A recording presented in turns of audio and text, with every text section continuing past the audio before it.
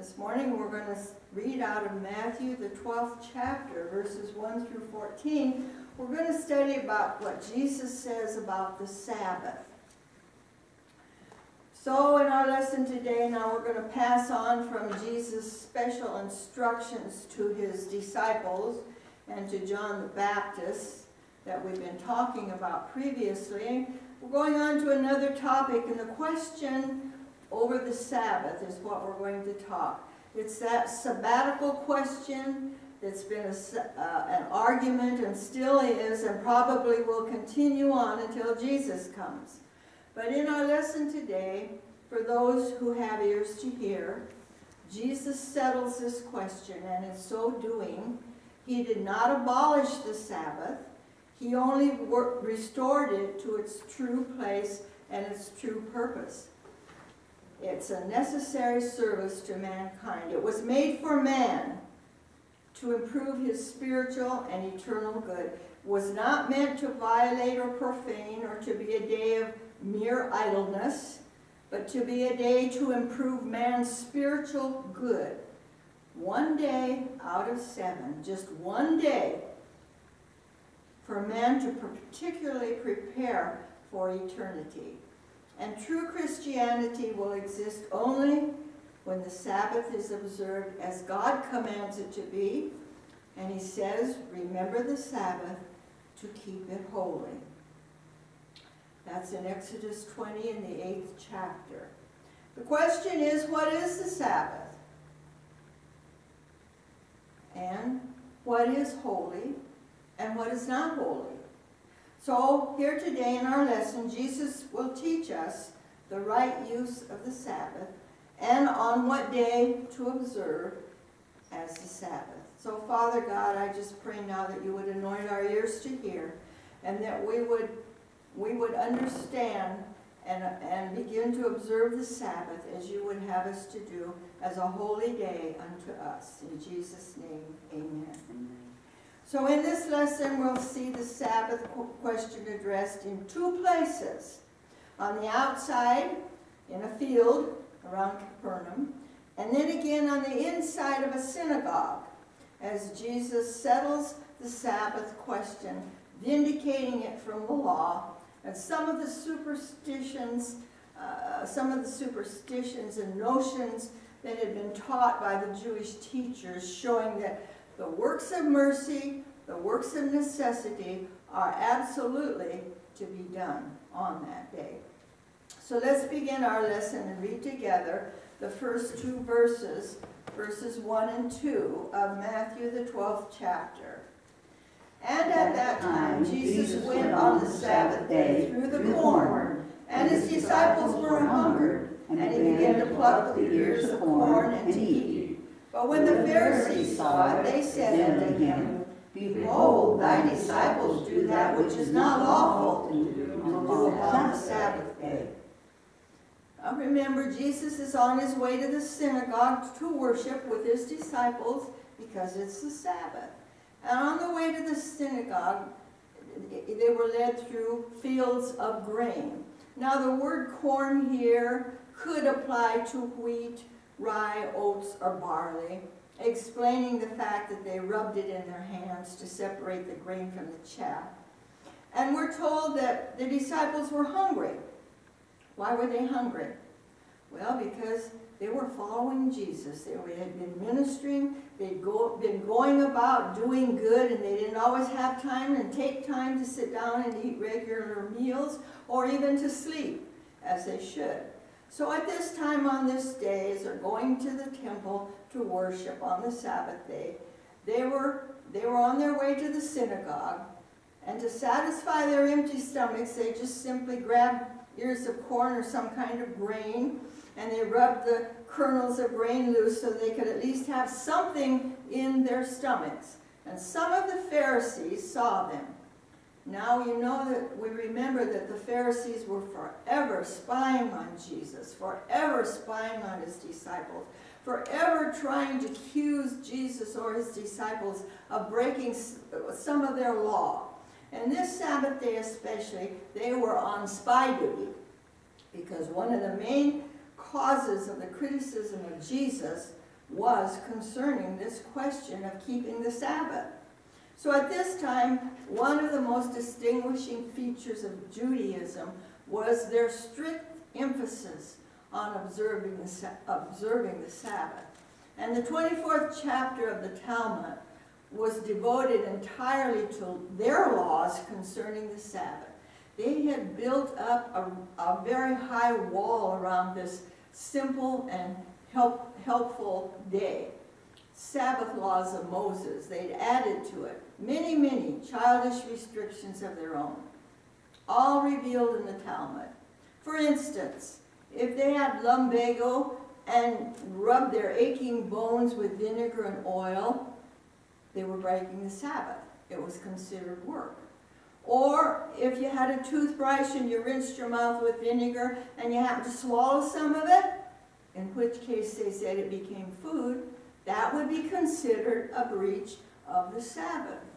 So, to break, for the, for the disciples to break the Sabbath, rather than to go hungry for a few hours, was to these Pharisees a guilt worth stoning, because the Jews were known all over the world for their readiness to die rather than to break the holy Sabbath day.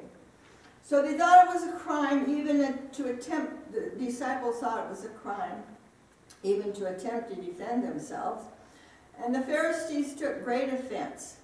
When they caught the disciples eating this dry cereal breakfast on the way to the synagogue, not so much that they were taking someone's corn, because actually in the law that was permissible, but they were doing it on the Sabbath day, which was strictly forbidden by all these traditions of the religious elders. For this reason, it was a kind of reaping. It was work. And immediately, the Pharisees jumped at the opportunity, and they stopped Jesus. They didn't go to the disciples, they went to Jesus. And they complained to him of what they had seen his disciples doing which to him was not considered work, but to them it was not lawful to do on the Sabbath. And they said, we just saw your disciples, and they were doing something that is absolutely unlawful to do on the Sabbath. What are you going to do about this? That's what they said to Jesus. So now Jesus proves to them that they are in error.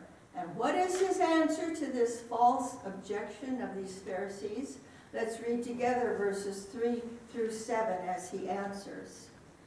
He said unto them, Have you not read what David did when he was hungry, and they that were with him?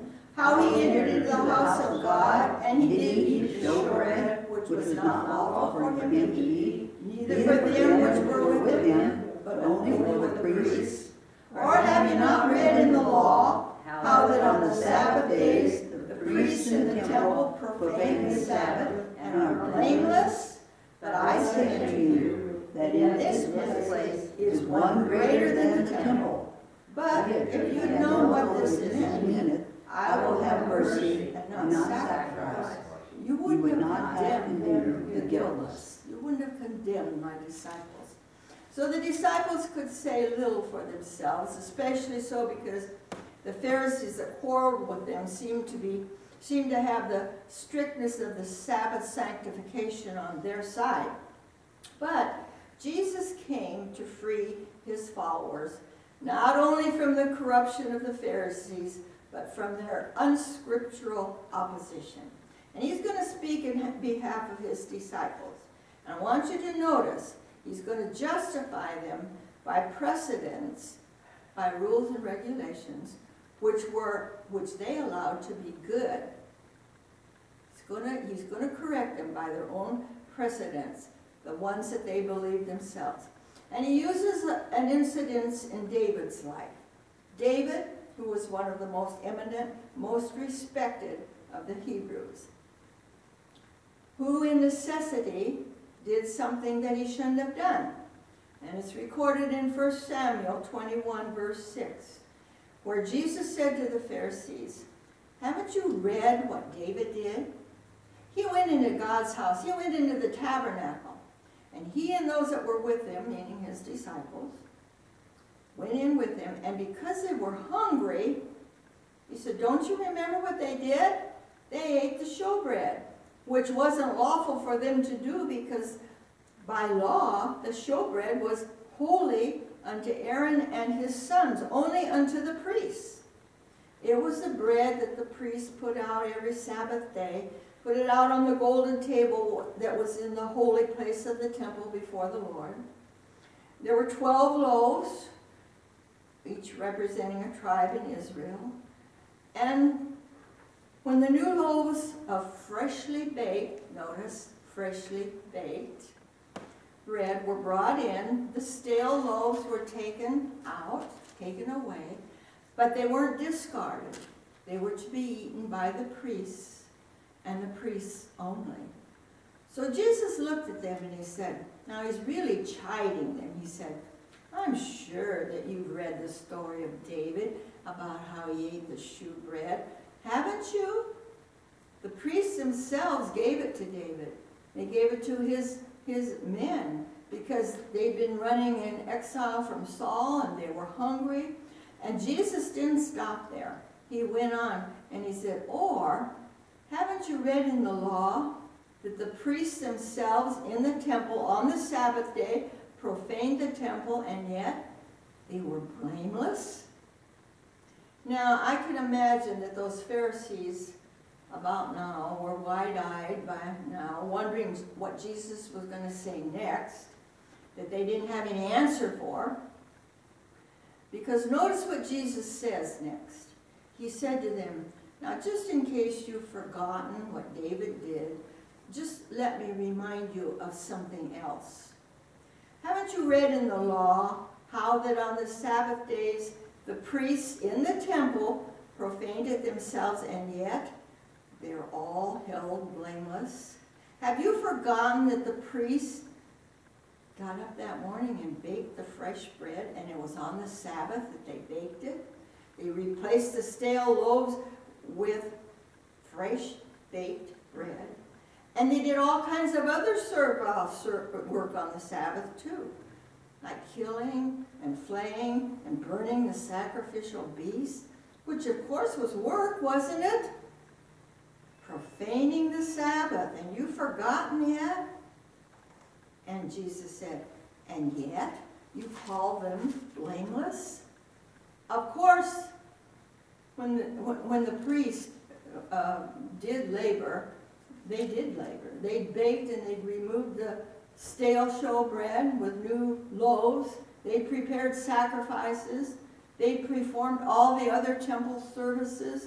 And therefore, if all labor on the Sabbath profaned the Sabbath, like the Pharisees maintained, well, what were the priests doing? They were profaning the Sabbath too. Continually, they were continually guilty, guilty of profaning the Sabbath because they probably did more work on the Sabbath in preparing all those sacrifices, plus all their other temple duties, than any other day. And yet, they weren't accused of breaking the law. They were called blameless. Why? Because the Pharisees held that duties of the temple service set aside the law of the Sabbath of rest. Why? Because this labor on the part of a few was necessary for the true keeping of the law. Their whole motive was to keep the law, nothing else, while they didn't acknowledge at all anything else. Ceremonial duties must give way to moral and spiritual duties, so that the law of love must take the place of ritual observances. But they didn't do this. A simple illustration is this. We would say that it was wrong to do ordinary repair work on your car, you know, on Sunday, that you could do other days of just ordinary repair work. We would say that that was wrong. But if you're on your way to church and you have a flat tire, it wouldn't be a sin to change the tire so that you could be on your way to the place of worship. But the Pharisees would regard this as breaking the Sabbath. But again, the error that they had was that they could they cared more for the letter of the law than for the spirit. They cared more for outward appearances than for spiritual principles and inner worship of the heart. They put sacrifice above mercy. And they misinterpreted Jesus' words to find opportunity to accuse him. Not to learn anything from his holy lessons and the things he was teaching his disciples. That wasn't their motive. And Jesus rebuked them very strongly. Now listen to him. He says, I say unto you that in this place is one that's even greater than the temple. And this means that I will have mercy and not sacrifice. And this means, Jesus said to them, that if you know what it means to be merciful, you wouldn't be standing here condemning my disciples. You would be sorry that they had to do this because they were hungry, and you wouldn't be condemning the guiltless. He said, You see, it's not enough to just know what the scriptures say.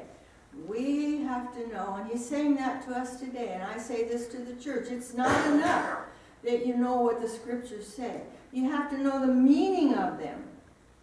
Uh, the word of in, in the word of God it says, "Let him that readeth understand." You have to understand and put it into practice. So here Jesus says to the Pharisees, "You don't understand what I mean when I tell you that in this place is one greater than the temple. So you worship by keeping laws and ritual. So let me explain to you." And let's read verse 8 together as he explains. All he says is, For the Son of Man is Lord even of the Sabbath day. Jesus said this to them, meaning that the law, as well as all of the rest, is put in his hands by God to be, to be altered, to be in, enforced, or to be dispersed with, as he says here. It was by the Son that God made the world. And as mediator, as Jesus being mediator, he's entrusted with the institution of all the ordinances, and he can make any changes that he sees fit. He's given that liberty by Father God, particularly as being the Lord of the Sabbath.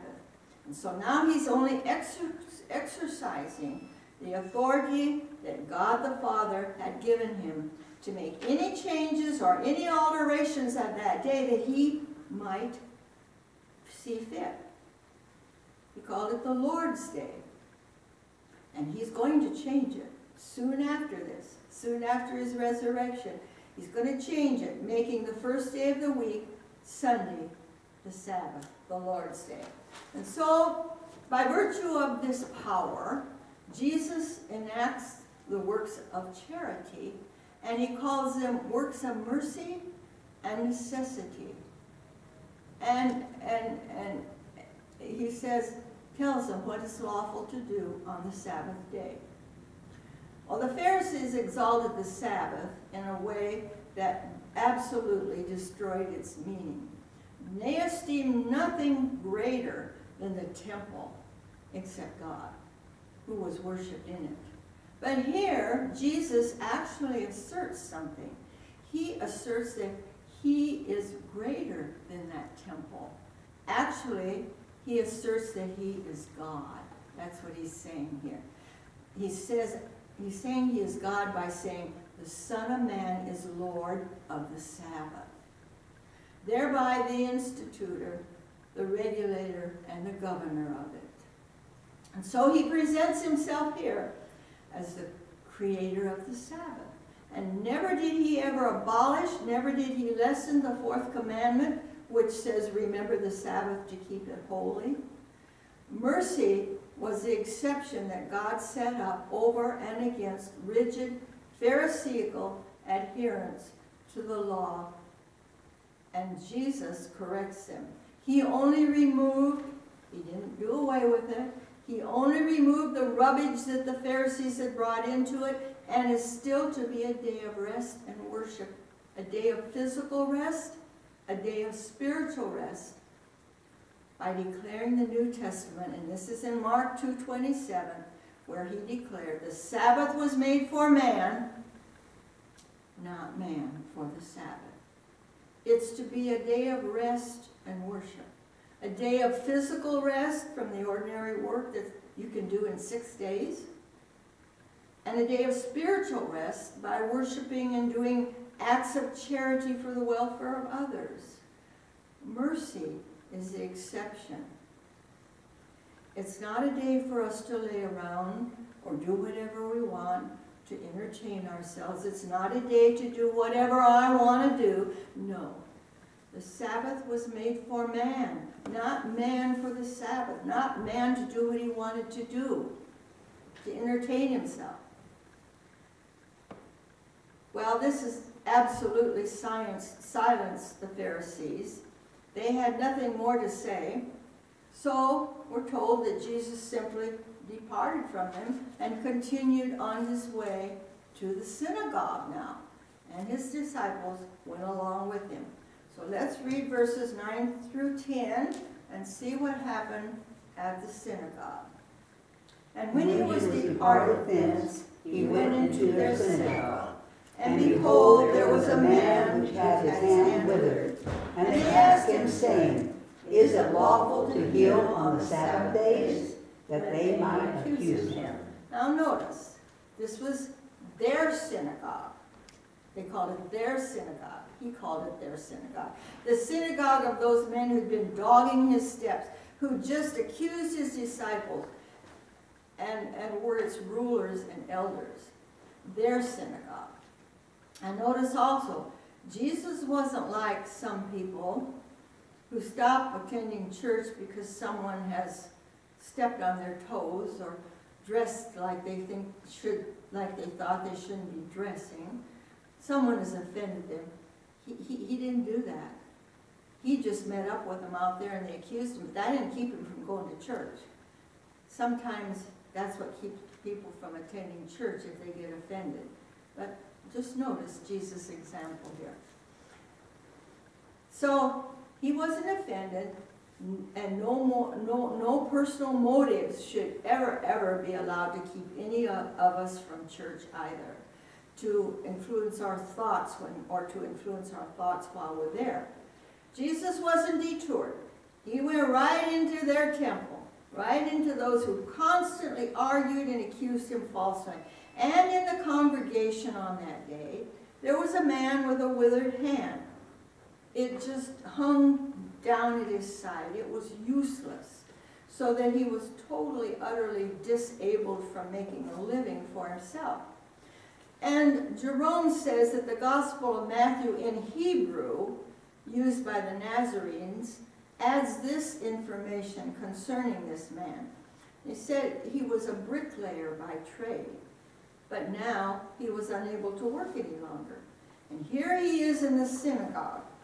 And again, the Pharisees use this as an opportunity to contend with Jesus, to provoke controversy, not to promote compassion, which they knew that Jesus could not help but show forth when he looked at this man. So they used this poor man as a guinea pig forgetting completely this poor man's feelings and all the anxiety that they're calling attention to him and his withered hand would cause him. They didn't care about that. So they asked Jesus a question. They said, Now, is it lawful to heal on the Sabbath day? It was a spiteful question because they knew, they'd observed Christ. They knew his good. They knew that any opportunity he had, he was going to reach out and heal and do good. So he, they used this case as a stumbling block in the way of his doing good. And they asked him, is it lawful to heal on the Sabbath? So that they could accuse him because they knew what he was going to do. So their wicked hearts were full of malice in the very house of God, which they proclaimed to honor. They sought to ensnare Jesus, to destroy him, he done nothing but good. Is it lawful to heal on the Sabbath? They weren't asking to get any instruction from him, uh, but they used it as an opportunity to accuse him. They were blinded by hatred. They didn't understand that no desecration of the Sabbath is worse in the sight of God than evil, thoughts or malicious ideas. No crime could be worse than they're trying to bring about the death of one most holy, most merciful, and on the day which God had hallowed, one who had even manifested himself to them as the Son of God. And so now Jesus answers them. Read verses 11 through 13 with me.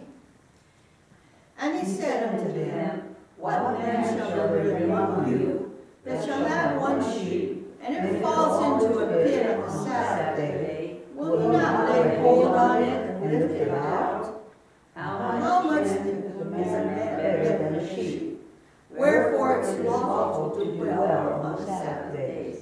Then saith he to the man, Stretch forth thy hand. And he stretched it forth, and it was restored whole, whole as, like as the other. Jesus answers questions with questions, doesn't he? So often. He answers one question by asking another. And here he answers their question by making them appeal to themselves and their own practices and their own opinions. Would they not save a sheep from danger on the Sabbath? No doubt they would, because the fourth command that they had allowed it, saying, A merciful man regards the life of his beast. And for their part, yes, they would. They'd save the sheep. Rather than lose them, uh, a sheep, they'd save it. And doesn't Christ, doesn't Jesus take care of his sheep? Yes, he does. He preserves, he provides for both man and beast. So here Jesus argues, how much more then is a man better than a sheep? Now we know sheep are not only harmless, but they're very useful animals, and yet as, as man here is preferred before them, much better and more valuable than the best of animals, because man is capable of knowing, loving, and glorifying God. And even the sacrifice of a sheep couldn't, couldn't atone for the sin of a soul. Therefore, man is better than sheep. But the Pharisees didn't consider this. They admitted, and yeah, Jesus had power to heal the sick. They couldn't deny this. They never did question his ability to perform miracles because they saw him with their own eyes. So that was never their question. Uh, therefore, they would acknowledge also that when a helpless man was placed in his pathway, he would be moved with compassion to heal him. They would have to acknowledge that, even on the Sabbath. They knew that. So now, I, I just as I, as I was studying this, do you suppose that maybe this man with the withered hand, do you, do you think that maybe he was planted there in the temple deliberately by the Pharisees to trap Jesus into healing him because they knew that that's what he was going to do. So that they could accuse him of working on the Sabbath. But the crux of the whole matter was, should he do well on the Sabbath? And they had asked, is it lawful to heal? So Jesus proves that it is lawful to do well, and it was up to them to judge whether healing, as he did, was doing well or not. Well, I, I, I, years ago, I, as a nurse, I, most of my time, I always had to work on weekends, um, every other weekend. And I was questioned sometimes by my co-laborers if I was a Christian, why I would work on Sunday. And, and I, I had reservations about it, but I, I got into this and I studied this. And um, this was my answer as Jesus answered it here um, I learned that there are more that, that, there are more ways of doing well on the Sabbath, and they're more important. They're more important than some other things. And that what I was doing as a nurse, caring for people and sick people, was doing well on the Sabbath. There are more ways of doing well than worshiping in the house of God. Helping the poor, helping those who are fallen into sudden distress and need immediate relief, attending the sick, that's important. Just as important to Jesus as coming into his house and worshiping. This is doing good from the principle of love, and charity with humility and self-denial. And our Heavenly Father acknowledges that. He calls it doing well, and He will accept it. Because not to do good when it lies within our power is to do evil. That's what Mark, Mark says in his gospel in the third chapter in the fourth verse. Therefore, it's not only lawful, but sometimes it's our duty to do works of mercy on the Sabbath.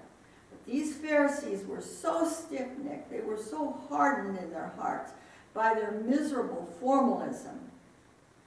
Jesus was grieved. Jesus was angry. So, notwithstanding the offense which he foresaw that the Pharisees would take, even though they couldn't answer his arguments, and they were resolved to continue and persist in their hatred and their prejudice, Jesus went over to the man. He just walked over to him. The man didn't go to Jesus. He didn't say a word. Jesus walked over to him and he said, Stretch forth thine hand. Now, there are two things that happen here that I don't want us to miss. They're very important. I want you to notice. This man did not say a word. He had no part himself in this conversation between Jesus and the Pharisees. He'd only come to the temple to worship, and Jesus went to him. Secondly, not only did Jesus approach him without his asking for any help, Jesus said to him, Stretch forth your hand. Exert yourself. Now, how in the world could this man stretch forth his hand? It was withered, it was hanging down limp by his side. It was useless. And he's supposed to just walk over to Jesus and stretch out his hand? He couldn't do this of himself any more than the impotent man could arise and carry his bed and go home. Or that Lazarus could come up forth out of his grave.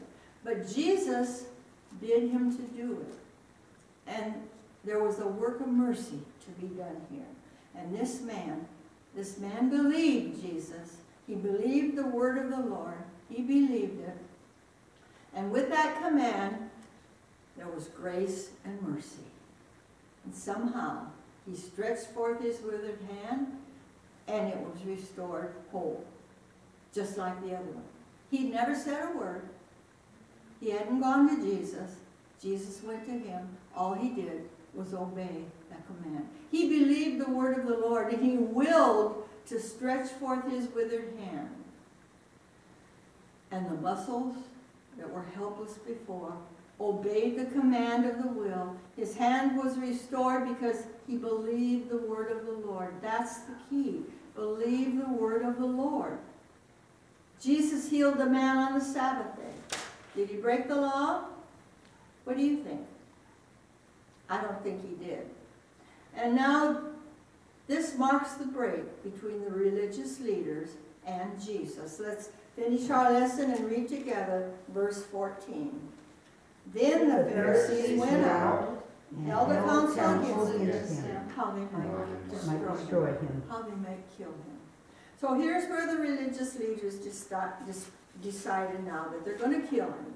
The Pharisees were filled with madness. Luke says in chapter 6, the 11th verse, they were filled with a wicked folly, and they took counsel against him. He had shamed them. He'd put them to silence, and yet he'd done nothing which could be used as a grounds of accusations against him. He didn't do anything. He just spoke the word. He didn't do any kind of work. He just spoke the word. But they were vexed and they were angered and they were enraged, not only by his miracles, but by the doctrine that he preached. It was directly opposite to their pride and their hypocrisy, to their worldly interests. But they pretended to be displeased at breaking the Sabbath day, which was by their law the capital crime. And that's no new thing to see the vilest practices cloaked with religion, it's still being done today. The Pharisees could use the Sabbath to plot against Jesus' life. That was all right. Yet they considered it unlawful for him to heal on the Sabbath. And he did no work, he just spoke the word. That's hypocrisy. But when Jesus knew it, he withdrew, but only temporarily because his hour hadn't yet come. They couldn't touch him until the appointed time. So he simply withdrew himself, and it tells us that great multitudes followed after him. So the Pharisees were far more critical than God intended them to be. The Sabbath was not a day of restrictions alone, it was a day of rest also. And today, there's much desecration of the Sabbath day through buying and selling. Our stores are open. When I grew up as a child, they were never open. Today, the stores are open. They probably make more money on Sunday than any other day. They're crowded. There's much pleasure seeking on Sunday. Look at the soccer fields. Not now because you can't go in them, but normally they would be full of our young people, our children on Sunday, and the baseball parks would be full. Pleasure seeking, working, staying out of church. Some people think that Sunday is fun day. Not so. We must remember that the Sabbath was not given for the purpose of giving Christians liberty to do whatever they please. Man was not made for the Sabbath, but the Sabbath was made for man to worship God and do, do duties of, of charity. And the true child of God doesn't need any special rules to keep him from violating the Sabbath because he desires to keep it holy by attending the house of God and refraining from any unnecessary work, work that could be done the other six days of the week, and from keeping themselves, disciplining themselves from pleasure seeking and buying and selling on that day. It's the day that Jesus rose from the grave upon. It's resurrection Sunday. It's that's the Lord's day now for a New Testament Christian. The first day of the week, the day that's set aside for man to worship, to preach, to celebrate the Lord's Supper, the day of the week that Jesus obtained victory over death. Therefore, it has preeminence and is more honorable than ever the Jewish Sabbath was. So let's regard it as lawful to do well on the Sabbath. That's what Jesus taught. Father, we thank you for your word this day. And I pray, God, that, that we would, it, it would burn in our hearts and we would assess ourselves and we would discipline ourselves. And not only that, but we would be good examples to our children, our children's children, and to this evil world in this day. Let's remember to keep the Sabbath holy, to attend worship, and to do these charitable deeds, acts of mercy, which God does not consider work on the Sabbath. He considers it as part of keeping his Sabbath holy. Thank you, Father God, for this word. In Jesus' name, amen.